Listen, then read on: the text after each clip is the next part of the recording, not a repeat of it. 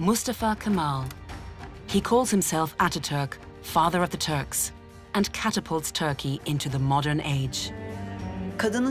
One of his greatest achievements was making women visible. He knows no mercy for himself or for others. I'm not a dictator. I want to rule by capturing the hearts of the people, not by breaking them. A controversial hero, both loved and hated. Is present-day Turkey still divided by Ataturk's revolution?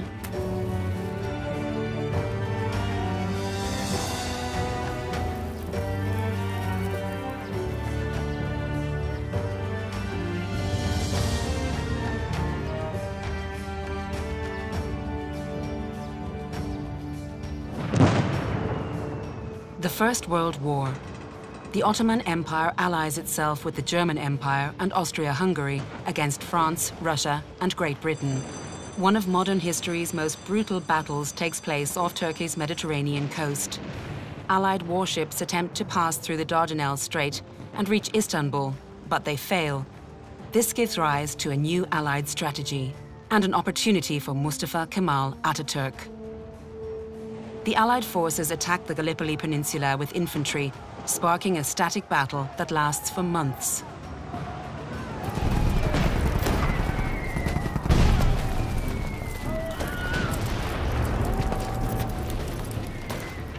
The young Ottoman officer Mustafa Kemal is in command of an entire section of the front. One of his orders from the trenches goes down in history. Your brave mothers gave birth to you for this day alone.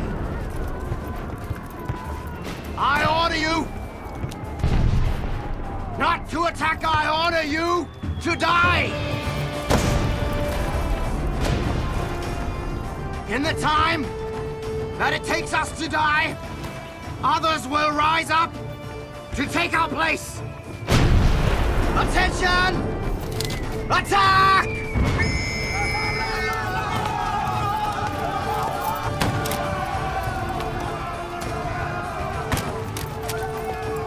Although his troops are outnumbered, Ataturk is able to hold his position until reinforcements arrive.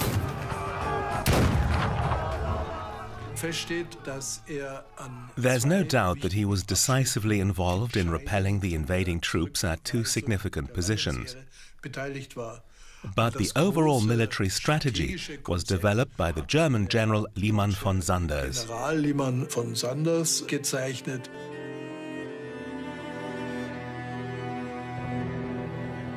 To this day, Turkey celebrates Ataturk as the great hero of Gallipoli.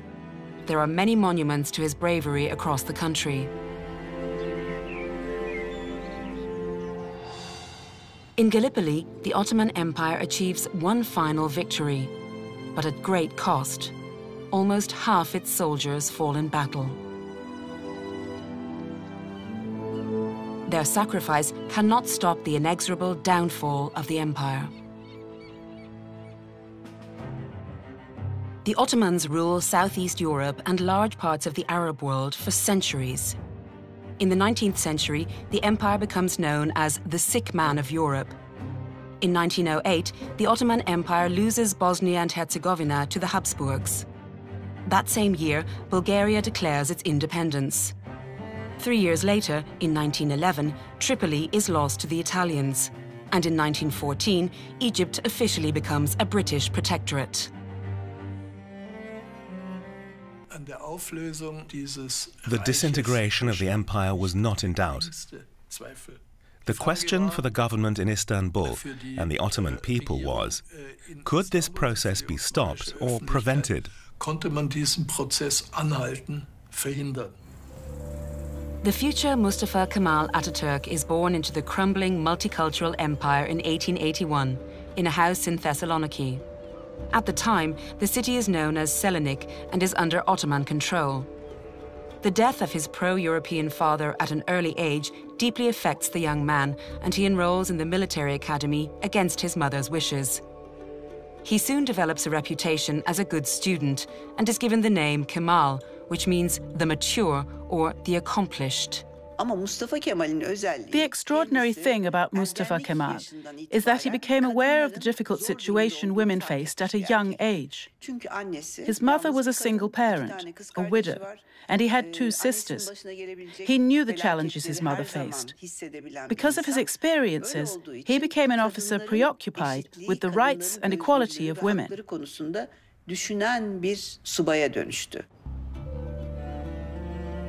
Thessaloniki remains a part of the Ottoman Empire until 1912. The harbour city on the Mediterranean attracts Jews, Turks, Armenians, Greeks, the British, and Italians.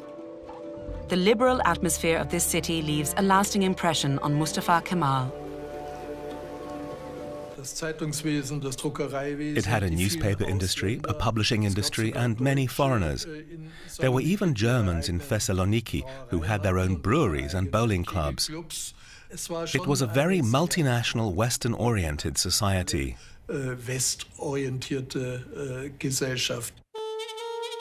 Ataturk continues his career at the renowned Ottoman Military Academy in Istanbul. Training at the academy is heavily influenced by Prussian military theory, as the Germans had been responsible for modernizing the Ottoman Empire's military schools.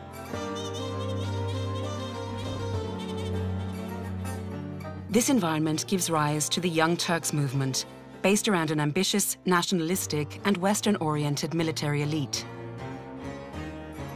Now a young officer, Mustafa Kemal becomes part of the movement, attracted by its ideas of liberal reform he's fascinated by the ideals of the French Revolution.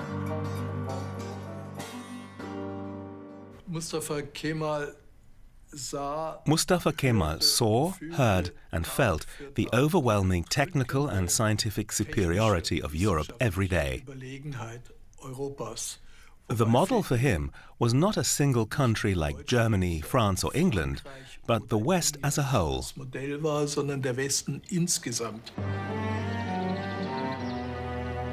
The Young Turks are determined to save the Ottoman Empire. Led by Enver Pasha, they demand political and military reforms. In 1908, the Young Turks take power in Istanbul, ousting Sultan Abdul Hamid II and replacing him with his brother. In order to stop the collapse of the fragile empire, Enver Pasha joins forces with the Germans in the First World War. In the course of the war, Ataturk becomes an adversary of the ambitious war minister. He sees Enver Pasha as an obstacle to his own advancement. Both are patriots, but while Enver assumes an elitist approach, Ataturk believes in winning the support of the masses. Have been signed under difficult conditions. Many years later, he recalls those days. Only a Turkish nation in arms can overcome the country's crisis. Soldiers not acquainted with Timur, Genghis Khan, and Attila the Hun will prove useless in combat. While Ataturk becomes a hero at Gallipoli, the war minister Enver Pasha suffers a catastrophic defeat at the Ottoman-Russian front.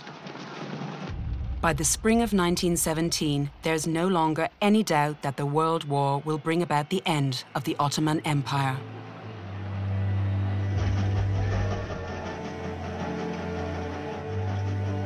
Enver Pasha orders Mustafa Kemal to accompany the Crown Prince on a visit to the German allies.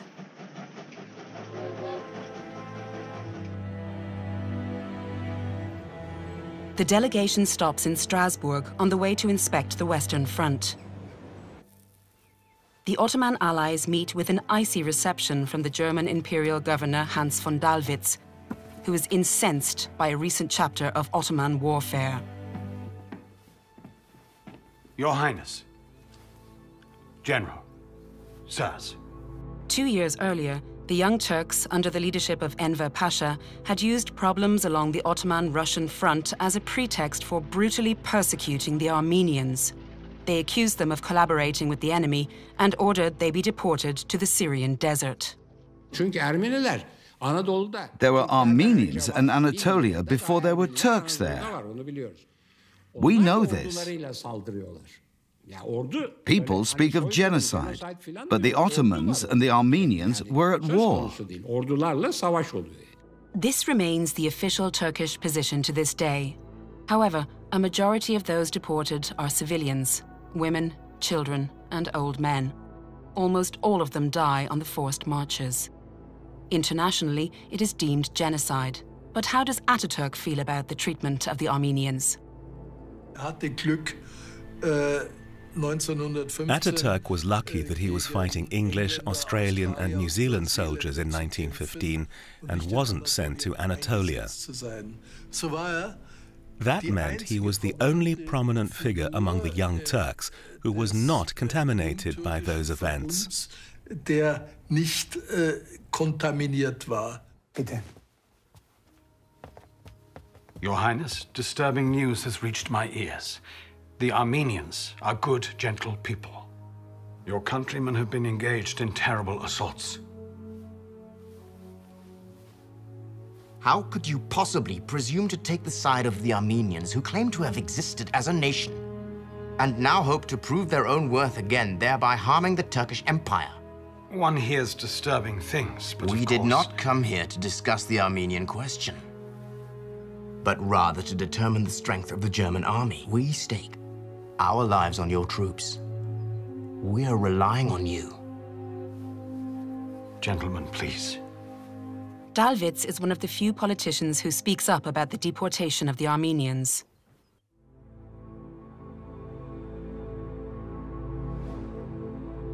The German ambassador in Istanbul also lodges a protest.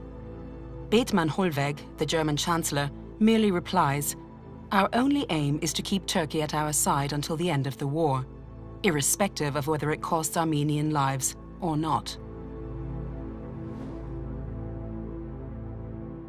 Mustafa Kemal hat gewusst, äh, Mustafa Kemal knew that nobody would deny that the Armenians were subjected to incredible suffering.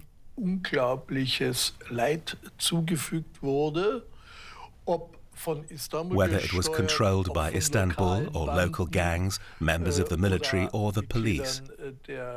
That was clear.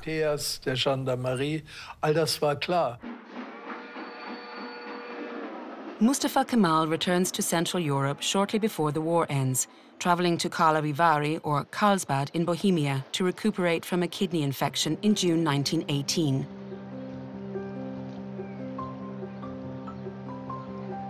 Despite the war, Carlsbad has remained an important meeting place for Europe's high society. The therapeutic qualities of the thermal baths are not the only attraction in the city. The cosmopolitan atmosphere in Carlsbad leaves a powerful impression on Mustafa Kemal. This is how he imagines a modern society must be.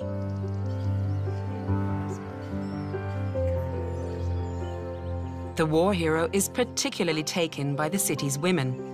They are confident, independent, and they do not wear veils.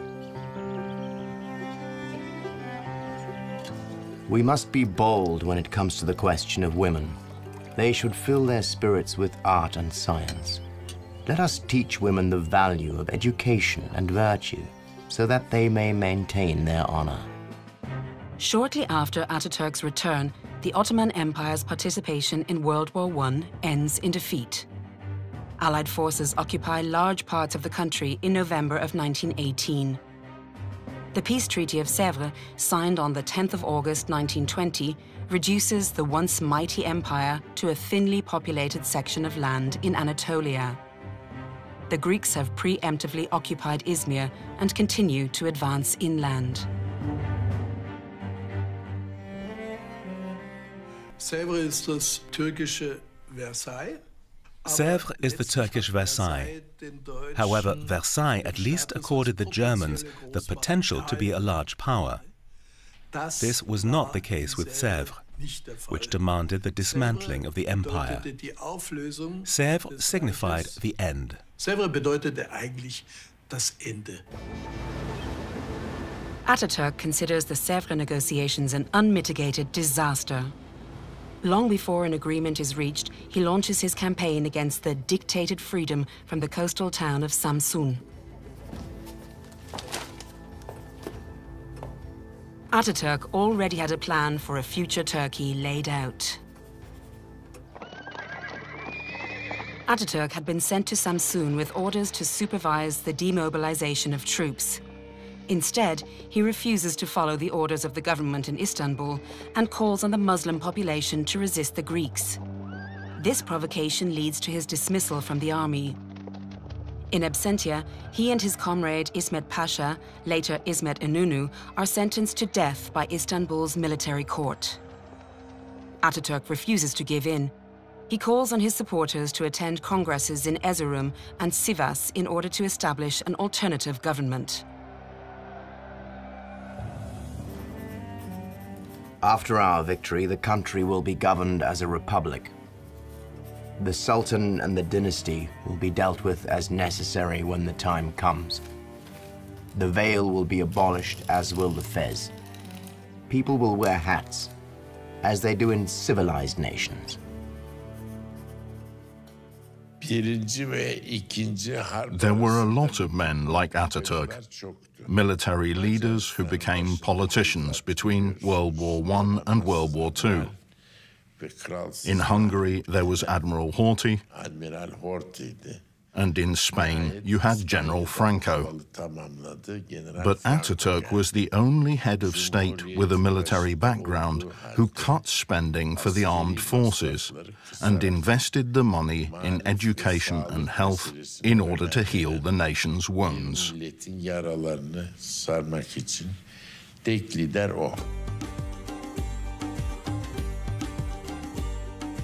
A new state requires a new capital city. A small, largely insignificant administrative center becomes the Ankara of the modern era. Ataturk remains a powerful presence in the city. On the 23rd of April 1920, Mustafa Kemal opens Turkey's first Grand National Assembly. The new parliament declares the Treaty of Sèvres void and the government representatives in Istanbul guilty of high treason.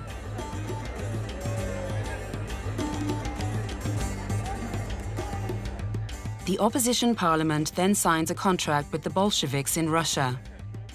The Soviet Union is the first country to recognize the new government and sends money and weapons for the fight against the Greek occupiers.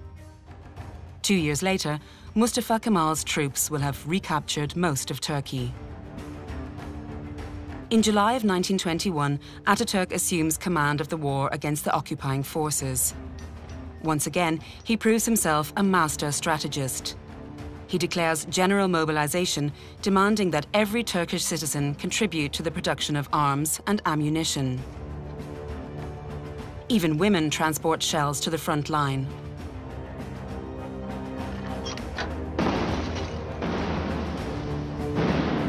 This highly motivated army under Mustafa Kemal's command eventually defeats the Greeks resoundingly at the Battle of Sakarya.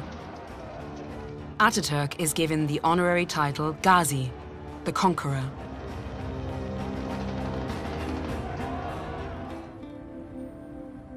In 1922, Ataturk ends his war against the Greek occupiers in Izmir on the Aegean coast. This also marks a significant turning point in his personal life. The city falls to the Turkish army without resistance. Looting breaks out in Christian areas of the city. A fire begins in the Armenian quarter and becomes a conflagration, forcing local inhabitants to flee. Ten days later, the Christian areas have burned to the ground. Could Ataturk have prevented this? When Ataturk arrived in Izmir, he had defeated the Greeks. My opinion is this. Why would a person who enters a city victorious then set fire to that city? As far as I can see, the fires could only have been set by those escaping, and there are documents that back this up. However, it is not an indisputable claim. Nobody can now deny that not only the Greek inhabitants of Izmir, but also between one and 200,000 Greek refugees were literally forced onto the ships, However, we've been unable to establish conclusively who was responsible for the destruction of the city by arson. The fact that Mustafa Kemal himself remained silent on the issue suggests that the army was involved. Ist eher ein Indiz, äh, dass äh, die Armee beteiligt war. In Izmir, Mustafa Kemal establishes his headquarters in a villa owned by the Ushakizade family, successful local merchants. Latife, the family's daughter, had pledged to marry the man who freed Izmir from the Greeks. Such a beautiful, elegant woman wears the image of a mere soldier around her neck? My Pasha. I had it made only recently. The day the two of them met was very dramatic. There was the great fire and the beginning of their love. Are houses of your family affected by the fire? Yes, many. Yet all we own shall burn, my Pasha. We have defeated the enemy, and under your leadership we will build a new Izmir. The couple are drawn together by passion and patriotism. Turkish sources suggest that the events in Izmir cost 10,000 lives, while Greek sources claim there were as many as 100,000 deaths, possibly one third of Izmir's total population. Of the Armenian inhabitants, only a few individuals survived. Some desperate people are able to escape to the Greek islands. The Allied ships in the harbour refuse to intervene or come to their aid. Centuries of multicultural, multi-ethnic existence in the city come to an end. Izmir becomes a Turkish city. The victory celebrations across the country represent a triumph for the young state. Mustafa Kemal becomes a shining hero in the eyes of Turkey's population, once and for all. The reconquest of Turkey's former territories makes the Treaty of Sèvres worthless, forcing the Allies to return to the negotiating table. Eventually, Turkey's new government signs the Treaty of Lausanne, which negates many of the Sèvres conditions on the 24th of July 1923.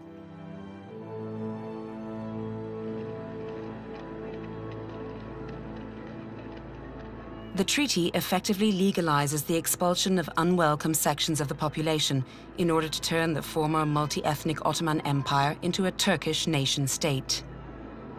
This leads to the greatest population exchange the world had so far witnessed. Hundreds of thousands of people are affected. Large columns of Greeks who had been citizens of the Ottoman Empire flee Turkey while Muslims from Thrace and Macedonia make their way to the new Turkish state. And many more nationalities are affected. One mustn't forget that there were also large numbers of refugees and people resettled from the Balkans and the Caucasus who made up the new nation. It wasn't only people born in Anatolia. Äh, there are experts who claim that in Turkey it wasn't the people who formed the nation, but the state which effectively created the nation from the top down.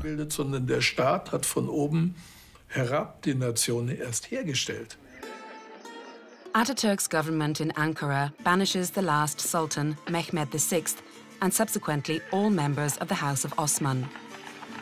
The republic is declared on the 29th of October 1923 and Ataturk is named president. However, Mustafa Kemal has not yet achieved his ultimate goal, a cultural revolution within Turkey. As president, he is determined to make his Carlsbad ideas a reality. The first step the long-term bachelor takes is to marry Latife Hanim, his ideal of what a modern woman should be despite the fact that she wears a headscarf in public out of respect for local traditions.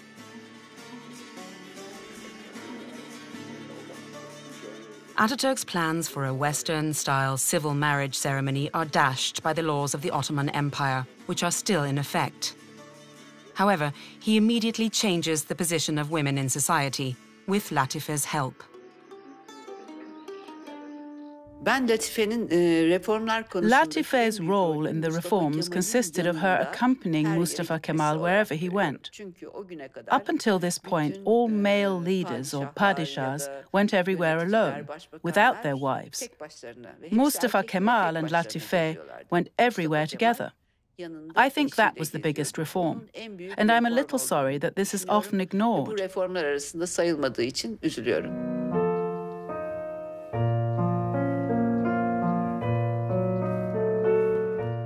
Latife had studied in Paris and speaks fluent German. She transforms Ataturk's former bachelor nights into European-style middle-class dinner parties.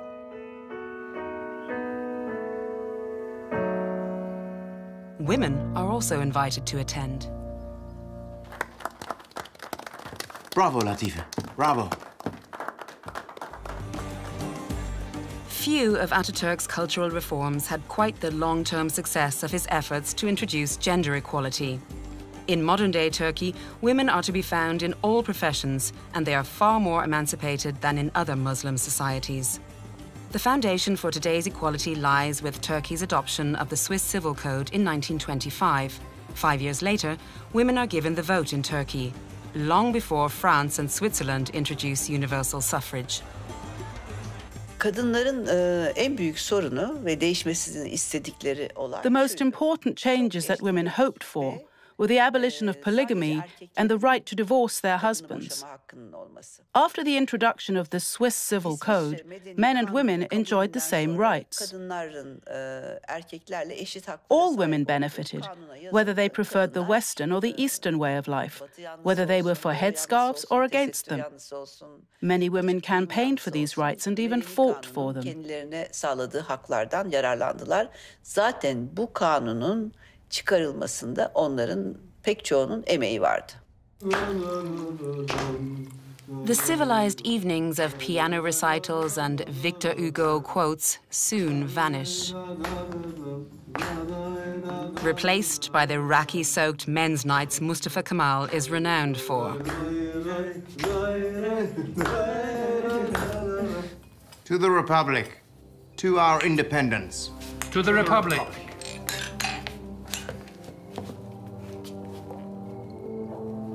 Beni mecnun ettin Sen de olasın Aşkımı What is this? You are drinking again. Your doctor and your mother have warned you. You shouldn't drink so much. My mother is dead, but you, you restrict me. Control every step I take. You are the president. This is about Turkey. For me, it's about my freedom. Latife why didn't Latife just go along with everything like other women did? Why did she contradict him so often? Latife's independence caused consternation and irritated the people around her. In addition, Mustafa Kemal had spent the formative years of his life alone and was a man who valued his freedom. He realized that Latife was restricting him. Çok sıktı, boğduğu anlaşılıyordu. Ataturk divorces Latife in accordance with Islamic law, just before the Swiss Civil Code would have made this impossible. The divorced wife of Turkey's first president spends the rest of her life living quietly in Istanbul and Izmir.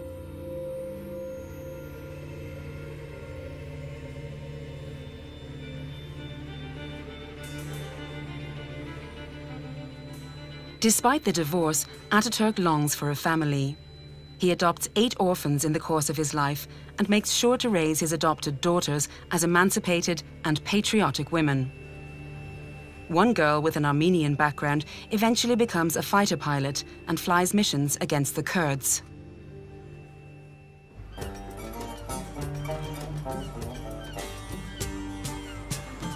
Istanbul, on the Bosporus and the Sea of Marmara.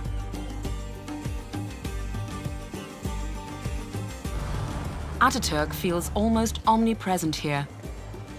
Even though President Erdogan's new mosque now towers above the Republic Monument on the city's renowned Taksim Square. Modern-day Turkey is a divided nation, torn between Europe and the Islamic world.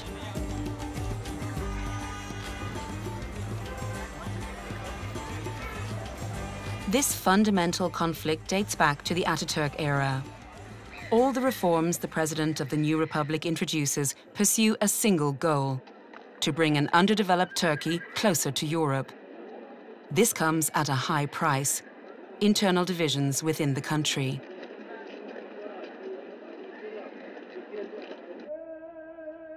As soon as the republic is declared, Mustafa Kemal attempts to turn Turkey into a secular country with a clear separation between religion and the state the caliphate is abolished in 1924. Quran schools and Sharia courts are subsequently closed down, followed a year later by Sufi orders and dervish monasteries. The Quran itself is translated into Turkish.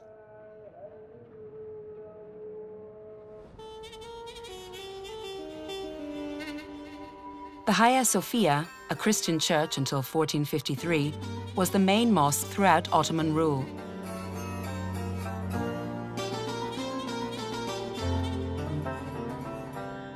In 1934, as the final flourish of his religious reforms, Ataturk has it converted to a museum. The protests against this move continue to this day.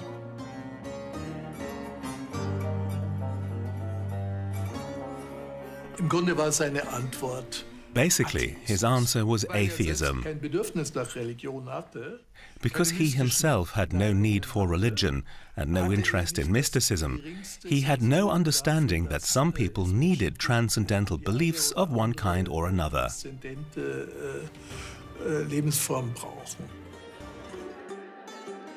Ataturk also hopes to change the outward appearance of his subjects, making Turks look more like Europeans. His clothing reform forces his compatriots to abandon their fezes and kaftans. These changes also have a religious element. In Anatolia, the hat is seen as a symbol of godlessness. The hat law of 1925 attracts more criticism than the abolishment of the caliphate the year before. There are uprisings, and some people who refuse to abandon their traditional fez headwear are sentenced to death. That same year, parts of the Kurdish population begin to demand autonomy. Ataturk refuses, although the Kurds had supported him during his war for independence. The Kurdish leader, Sheikh Said, calls for rebellion and demands the revival of the caliphate. The government suppresses the rebellion brutally, sending the sheikh and 47 of his followers to the gallows. Secularism and the Kurdish question both continue to play an important and divisive role in Turkey's internal politics to this day. In 1924, the regime began to crack down. In the wake of the Kurdish rebellion in 1925, all opposition parties were silenced and the press was placed under government control. Turkey became a single party state one could call a dictatorship. Ataturk often considered changing from a one party to a multi party system, similar to that of the French, but it simply wasn't possible. Resistance against Ataturk and his reforms grows, even among his former associates. In the summer of 1926, a group of conspirators plans to assassinate the president. But the plan is uncovered and a wave of arrests takes place across the country. It is the perfect opportunity for Ataturk to remove his opponents, whether they are guilty of a crime or not. My Pasha, the death sentences have been passed. The accused have confessed. Even Ataturk's former trusted associates fall victim to his purge. There will be no mercy not even for old comrades. 19 death sentences are carried out, and dozens are found guilty of various crimes and sent into exile. The opposition is significantly weakened.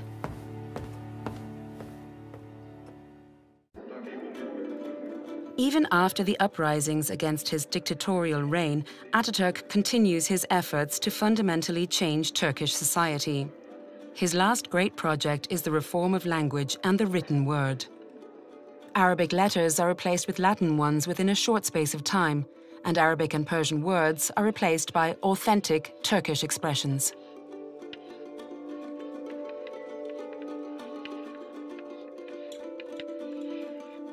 As a result, many Turks are only able to read the newspapers with the help of a dictionary. Within a single generation, the books of the past become incomprehensible. Ataturk himself attempts to educate the people. The former military hero is now Turkey's teacher-in-chief. To me and to many other historians of the era, the language reform is the most significant. Abolishing the use of Arabic writing served two purposes. To break the ties to the Islamic world, which of course was unacceptable to Ataturk's opponents. Gegner Atatürks äh, natürlich nicht akzeptabel war. At the same time, it vastly encouraged the rise of literacy. It's an unprecedented effort. Despite the first indications of the growing international economic crisis, the president continues to pursue industrialization and education reform.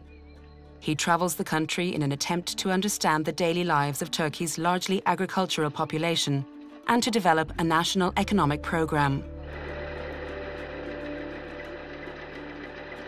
Ataturk also invites foreign experts to help Turkey make the transition to a modern, industrialized society.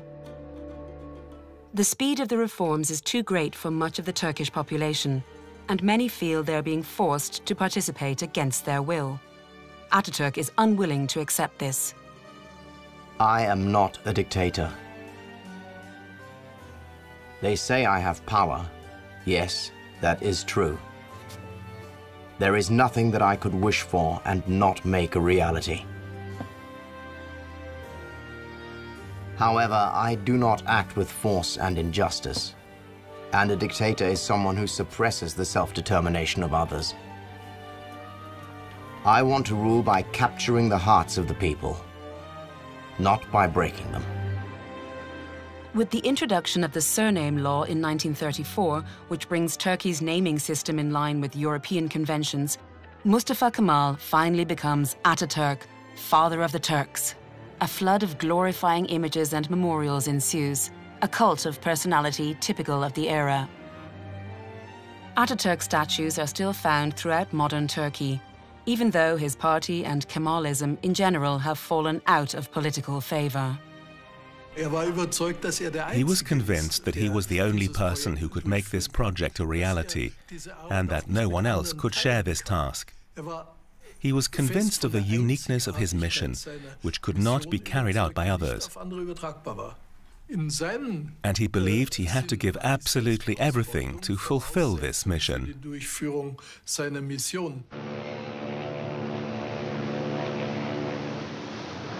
In 1927, Ataturk moves to Istanbul and begins to spend more and more time on his yacht. Responsibility for the day-to-day -day business of the government is increasingly placed in the hands of his future successor, İsmet İnönü. He has battled illness since the war, and his health problems are exacerbated by excessive alcohol consumption. In the winter of 1937, doctors determine that he is suffering from cirrhosis of the liver. As the celebrations of the 15th anniversary of the Republic draw to a close in 1938, Ataturk lies bedridden in Istanbul's Dolmabahce Palace, his final residence. He had hoped to join in the festivities.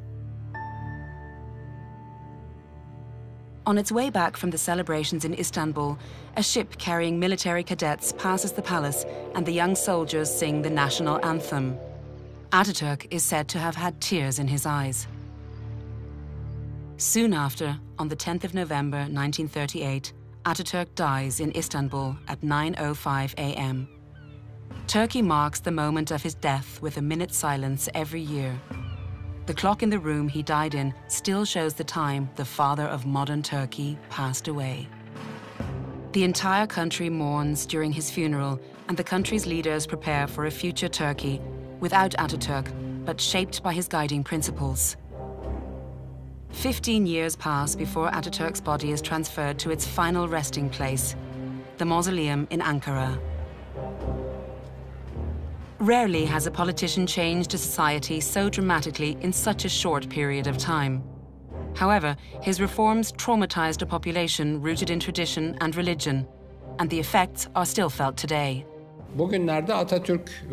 Ataturk and his revolution are currently of great significance because Turkey is moving away from Ataturk's vision of a republic and towards a more presidential system. It is therefore particularly important to remember Ataturk's achievements and the effort that went into making them a reality.